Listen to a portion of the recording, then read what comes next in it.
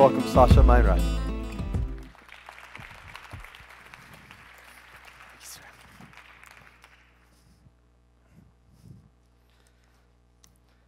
Hi, everyone. As a uh, Brazilian citizen, I'm really excited for Jurgen's work and can't wait to learn more about it in coming days. Uh, it's an honor to be here today, uh, today uh, to tell you about a truly disruptive technology that will change the lives of millions. It's probably also technology you've never heard of.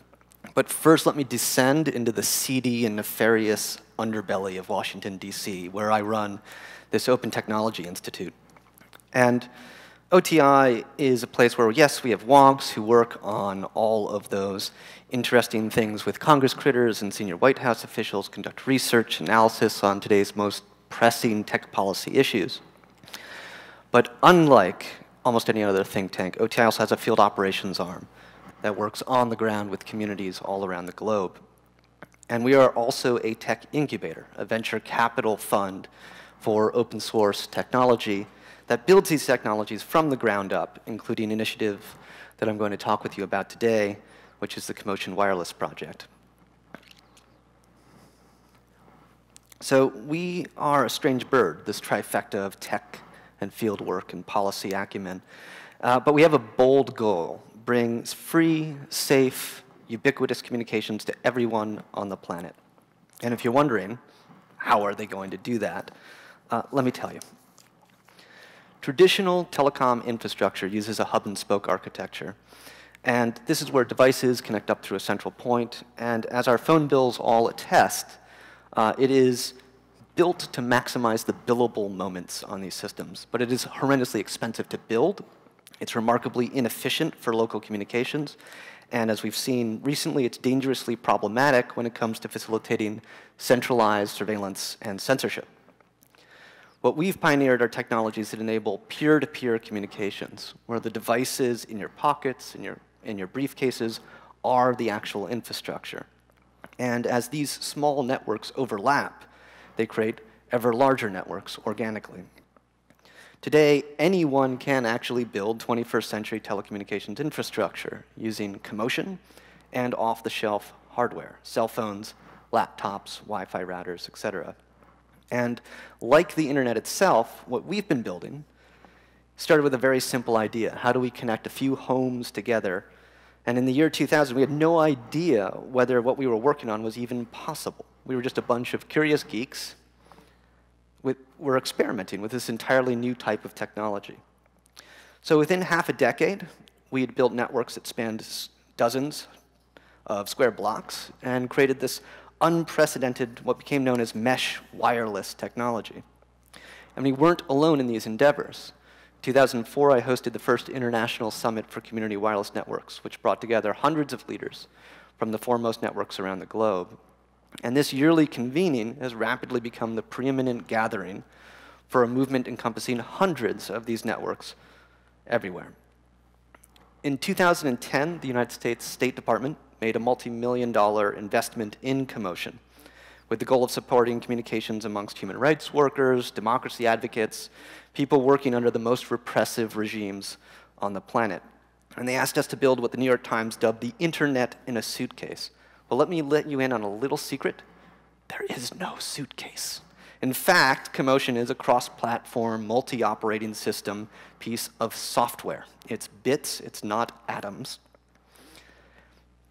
And Commotion is also this digital literacy platform that empowers non-geeks to build their own telecommunications infrastructure.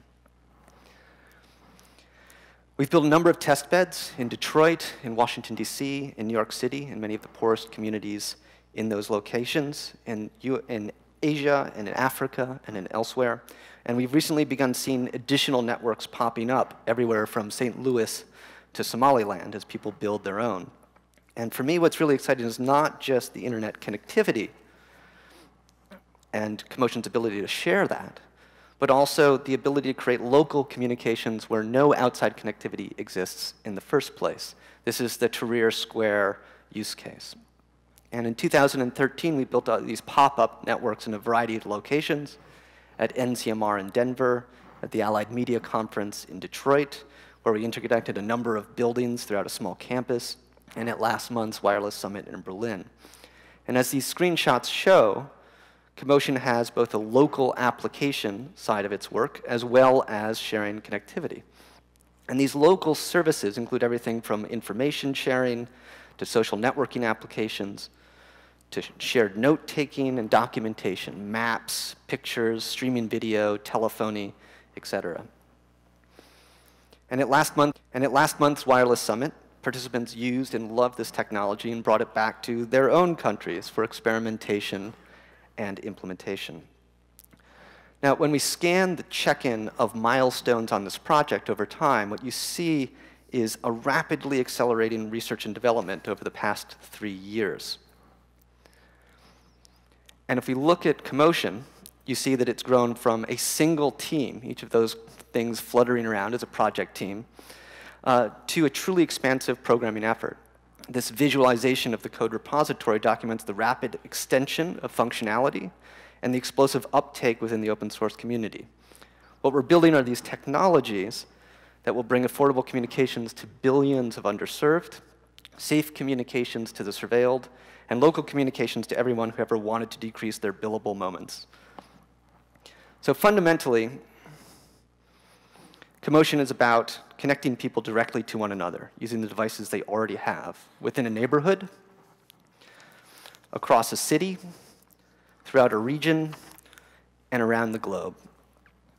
And after 13 years in development, we're releasing version 1.0 at the end of the year to provide this truly revolutionary tool for people to build a liberatory 21st century telecommunications infrastructure. So here's where you can find out more information, and thank you very much.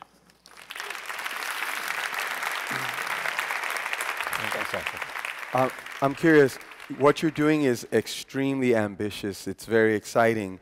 Uh, it will also uh, undercut a lot of very large existing businesses, particularly if you scale to the levels that you are hoping to. Mm -hmm. So what kind of pushback have you gotten from telecommunications industry and how do you circumvent it? Sure, so it, it's synergistic with uh, today's businesses, right? So if you look at the metro scale and larger networks that have been built, in Athens, Greece, in Vienna, Austria, in Berlin, in and around Barcelona, Spain, you see that the existing telcos are still doing their, their thing. This just provides another option for local communities. And some of these networks are quite large. Right? Athens, Greece has 2,500 nodes. Guifi.net has, I think it's about 20,000 nodes and is spanning now about 9,500 square kilometers. So what we're looking at is really a system that is really focused on low-cost connectivity, local connectivity, rather than trying to blanket an entire nation. And much like we, what we've seen is people adapting over time to the internet, to radio, to satellite, et cetera, the, the business models will evolve to take advantage of what this thing brings to communities, but then also to shift, hopefully, the price point dramatically downward. Because that's the only way you get the other 5 billion people online that can't afford today's business models. Thank you so much, Sascha. My pleasure. Thank you.